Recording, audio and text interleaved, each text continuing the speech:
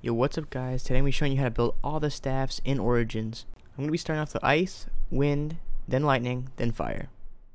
Now the ice disc can spawn in two different locations, both in Gen 2 area, either on the first desk or on the shelf later in this clip.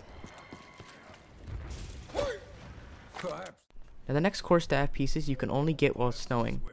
Now you have to dig these up. The first ice staff piece you can get is in the Gen 2 and Gen 3 area.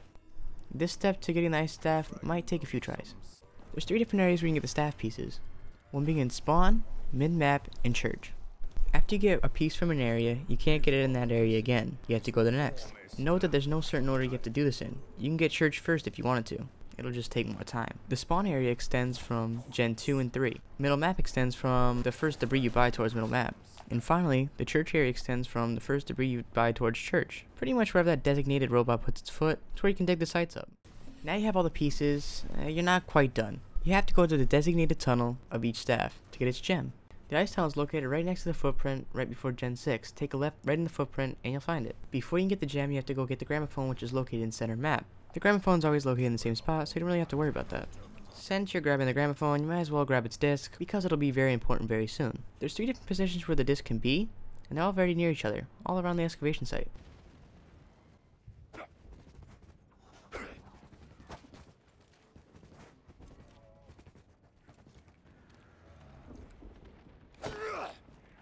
Now we can finally finish building our ice staff. Finally. Proceed to go down the ice tunnel, as previously stated, and put the gramophone down. After the gramophone is down, the portal will form to the crazy place. Now go pick up the gem as seen in the clip. Now that you have the gem, activate the teleporter and leave the crazy place. Don't forget to pick up the gramophone on the way out as you'll need this around the map and every time you want to go to the crazy place.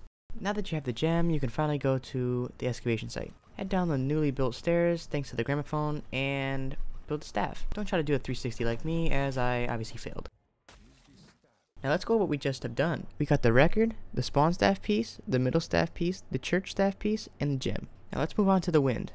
The first step to building the wind staff is obviously the disc. The first potential spawn is to the right of the lightning tunnel on a pile of crates. Next, directly down the lightning tunnel and to the left. Next spot I didn't have footage for because I forgot, but it is directly to the right of stamina. The next part's pretty easy. There are three different robots on the map. Each have a lit foot. The lit foot may not be the same every time it comes down, but it'll still have a lit foot. You need to locate the foot that is lit at a certain time and shoot it open. This allows you to get stepped on without dying and grab the piece that's on the table. Hopefully it's self-explanatory that there's only 3 robots, ergo there's only 3 staff parts other than the disc and the gem. You need to hop in each robot once. Note that there will not be more than one staff piece that will spawn in each robot, so you'll need to go to each part of the map to do this.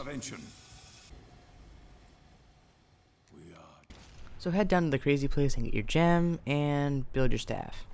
So now onto the lightning staff. So for all the lightning staff pieces, you have to take the take around the map a couple of times. The first part being on your right next to Gen 2, the second on your left in mid-map near the excavation site, and third on the way back to the church. And no, I didn't forget about the disc. So the disc locations are all pretty similar, they're all pretty close together. The lightning being no different, the first one spawns on your right on your way to Jug, there's a wagon and it should be right there. If not, there's a workbench next to Jug. If not there, there is another spawn in the wind tunnel. Sadly, I don't have footage for this, but it's there if, if it's not in the other two places. And the reason I saved the fire staff for last is because it's kind of the hardest to get, or it can take the longest. The one that usually people get first is the one that you see in the clip, is from the Panzer. You pretty much just have to kill him. Nothing special. The next staff piece is just from completing generator 6. All you have to do is click the square X button and complete the generator.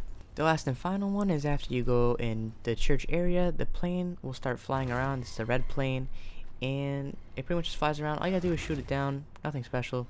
Just shoot it down and the last final piece will spawn. The disc locations are pretty simple, the first one being right next to the tank. The second and third positions, one being on the bench on the top floor of church, and one being to the left of generator 6. Now all you have to do is go to spawn and on generator 3 side there is a tunnel that is labeled fire and all you have to do is go in there and get your gem and you can go build your fire staff. So now you guys have all the staffs built and I really hope you guys thought this video was helpful. For more videos to come, this is Stephen and peace out.